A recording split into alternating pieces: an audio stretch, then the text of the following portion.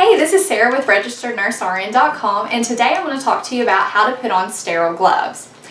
As a nurse, you will be required to use sterile gloves when you insert Foley catheters, when you access sub-Q ports, or when you change central line dressings. Now, whenever I was a nursing student, I actually was tested on how to put on these gloves. So if you're a nursing student, you may be tested by your clinical instructor on how to put them on, and you can use this video as a quick reference on how to put them on. So first what we're going to do is you'll get your sterile gloves. Sterile gloves come in different sizes, so be sure to pick the correct size of sterile gloves. If you're a man, you'll probably need larger gloves. They come in small, medium, or large, or they're labeled with a number. Um, these are size 6. They're on the smaller side because I have small hands, so I'm going to use these. So first what you'll do is you'll open up your sterile gloves.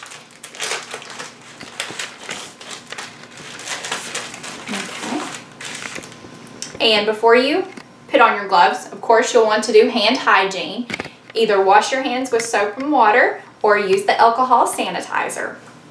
Now, when, if you're inserting a Foley catheter or you're going to change a central line dressing, it'll come in a package like this, okay? It won't have this with it. It'll come like that. So what you'll do is you'll unfold it, and when you unfold it, you will see these little creases around here. This is for you to open them without contaminating the gloves. So what I like to do is I like to take my fingers and I like to reach underneath and grab these little flaps right here so I can pull them open. And remember, you have two inches to grab so you won't contaminate the field. And I'm pulling them open and see how it's wanting to close like that. That's okay, that's normal, it happens. So just pull it out. You have the two inches, remember.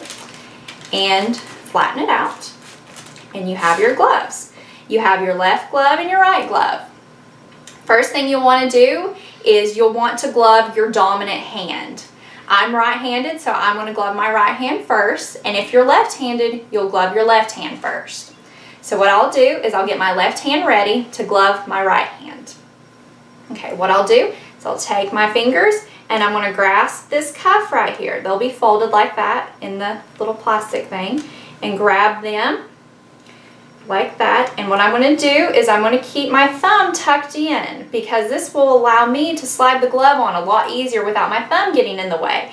And if your thumb gets in the way, you may touch the outside of the glove and contaminate it. So keep it tucked in. Just going to grab and you're just going to take your hand down in the glove. Just pull it up and I'm pulling with this. It's okay to do that.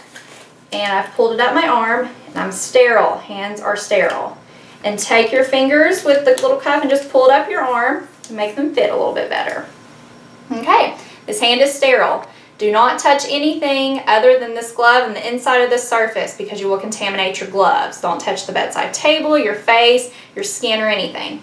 So now we're going to glove our left hand. We're going to take our right hand and we're going to go underneath this cuff instead of grasping like we did before. We're going to go underneath it. Okay, and whenever you do that, the paper tends to move. So just take your time and just sort of work your fingers underneath there and you're going to hold it. Okay, because we have went underneath here and we're not grasping like we did before, and to help us to put it on better, we're going to keep our thumb out. Remember how before I told you to tuck it in? We're going to keep it out first. And we're going to keep our fingers together and we're going to slide the glove up through those fingers, okay? Like this, and you're pushing with the other hand.